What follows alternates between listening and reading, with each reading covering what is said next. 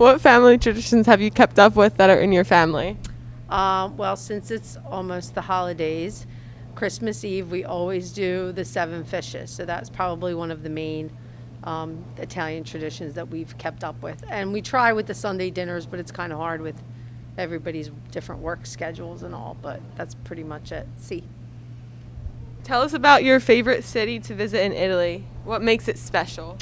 Um, my favorite city in Italy is Venice because there's no other city in the world like it with the sh- streets that are water and the gondolas and the antiquity. It's just gorgeous. So that's my favorite.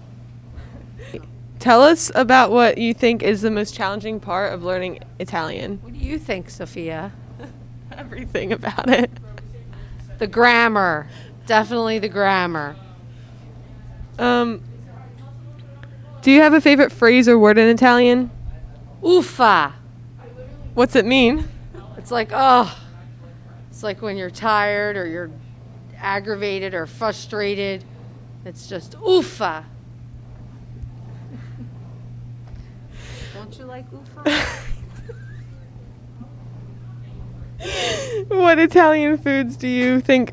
Wait, hold on. What Italian foods do you think everyone should try at least once in their lives? Squid ink pasta. It's black spaghetti. Look it up, it's delicious. It's kind of like a little salty texture, um, but it's really good. It's like a delicacy. And beef carpaccio. It's like thin sliced, almost kind of rare beef, but it's really good. Yep. Um, Those are my choices. oh.